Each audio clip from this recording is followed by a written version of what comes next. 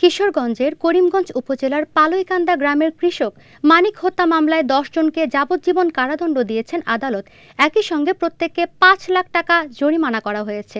সকালে কিশোরগঞ্জের এক নম্বর আদালতের অতিরিক্ত জেলা ও দায়রা জজ মোহাম্মদ আব্দুর রহিম এ রায় ঘোষণা করেন। এই মামলার অপর তেরো জন আসামিকে বেকসুর খালাস দেওয়া হয়েছে। মামলার বিবরণে জানা যায়, পালইকান্দা গ্রামে জমি সংক্রান্ত বিরোধের জের ধরে দুই হাজার এগারো সালের ছয় আগস্ট আব্দুল হেকিমের লোকজনের হামলায় কৃষক মানিক মিয়া নিহত হয়। পরে নিহতের ভাই খায়রুল ইসলাম বাদী হয়ে সাতাশ জনকে আসামি করে করিমগঞ্জ থানায় একটি মামলা দায়ের করেন।